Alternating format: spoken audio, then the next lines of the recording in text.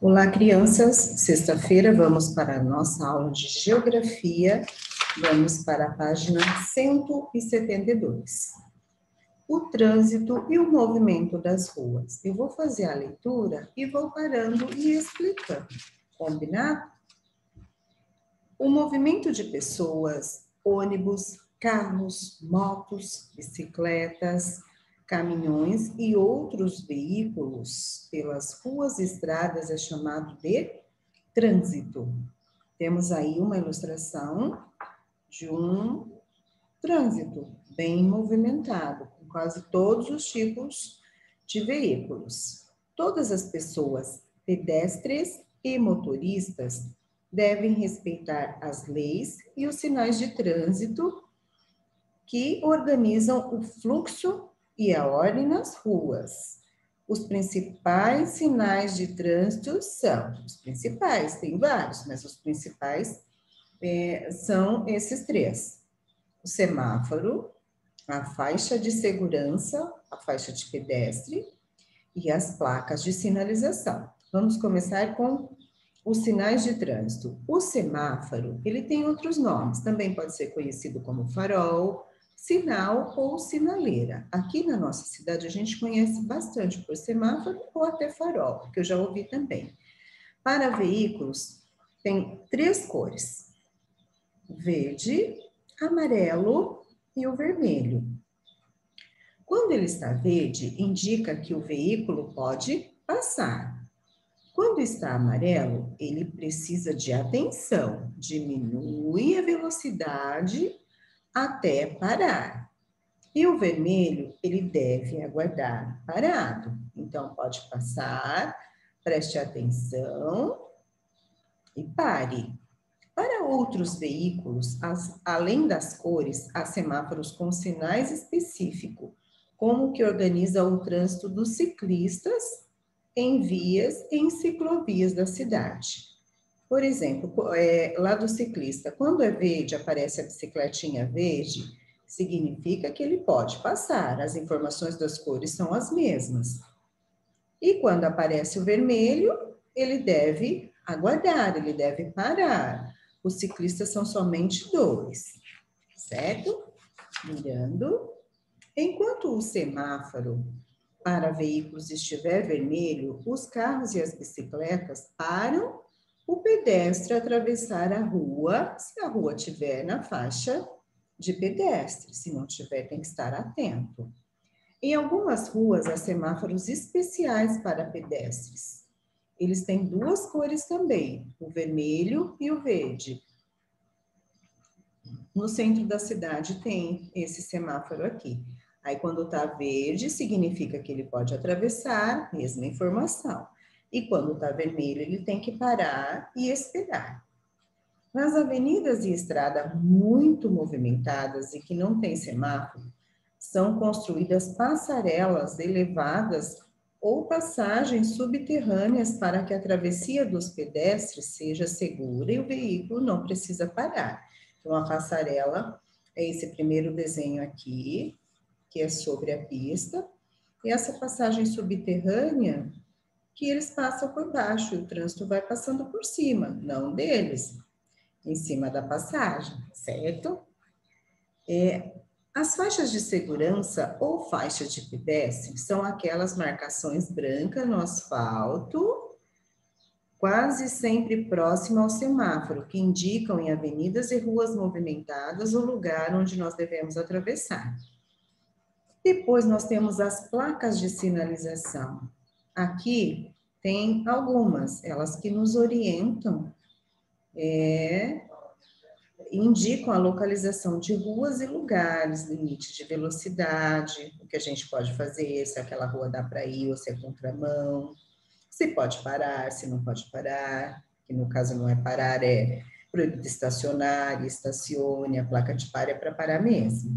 Então, aqui tem essa plaquinha amarela, travessia de pedestre, ou seja, que próximo a essa placa já vai vir uma faixa de pedestre para poder atravessar.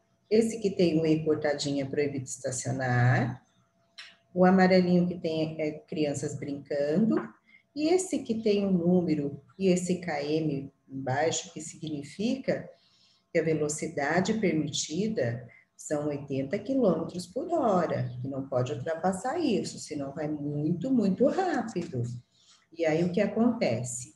Tem o radar, que é aquele aparelhinho que o guarda não fica lá, só fica o radar, ele fotografa e ele consegue, é, pela tecnologia, ver que o carro passou em alta velocidade. Aí a gente recebe em casa uma multa por não ter respeitado o limite de velocidade.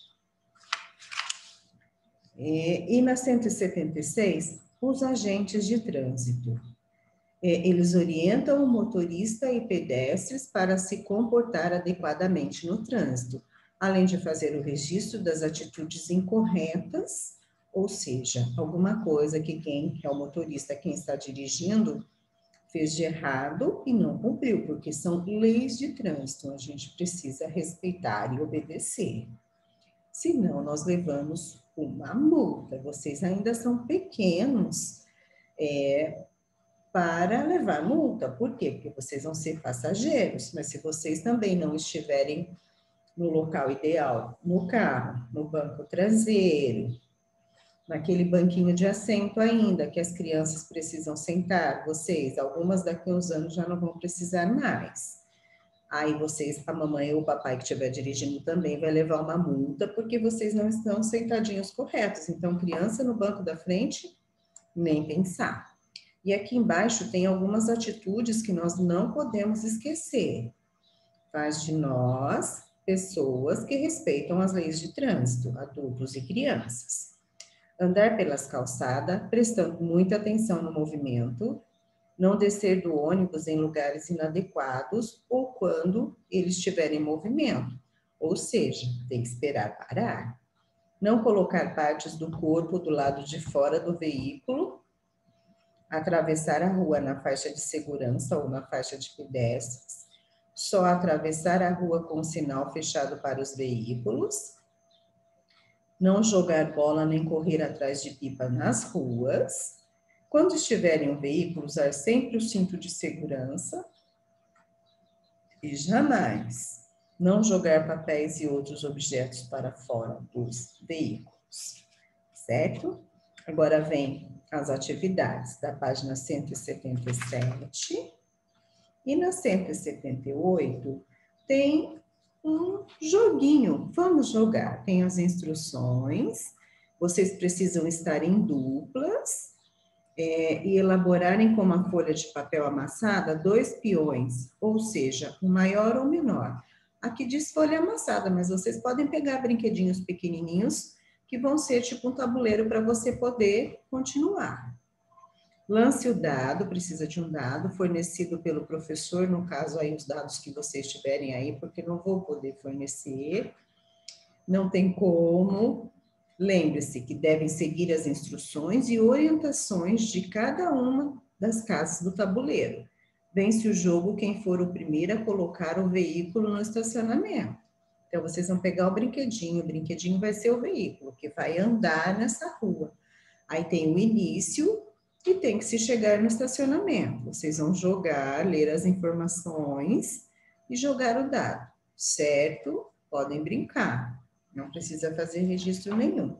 Depois vai lá no Vamos Trabalhar, 223 e 224, que fala da rua onde moro. Aí tem as perguntinhas, tem uma história em quadrinho aqui do Maurício de Souza, que está escrito assim: Ô oh, tia, pode me dar uma informação? Ah, claro, elas são simpáticas, elas vão dar informação. A senhora sabe onde é a rua Laranjal? Sei sim, ela começou a explicar. É só virar à esquerda na próxima esquina, descer nove quadras, virar à direita e andar oito quadras. Então, é o tipo de informação que a gente faz mesmo quando alguém pede ajuda na rua. Pode ser que vocês não deem esse tipo de informação, mas vai estar sempre com o adulto que vai falar a respeito das informações.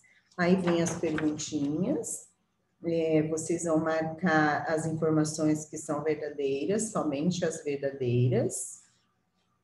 escrever o nome da rua onde você mora, o número da sua casa, quem mora em apartamento, o número do, do apartamento, quais são as principais características da rua onde você vive. Se é movimentada, pouco movimentada, é, se passa muito, muito caminhão, se passa ônibus, são esses tipos de informação.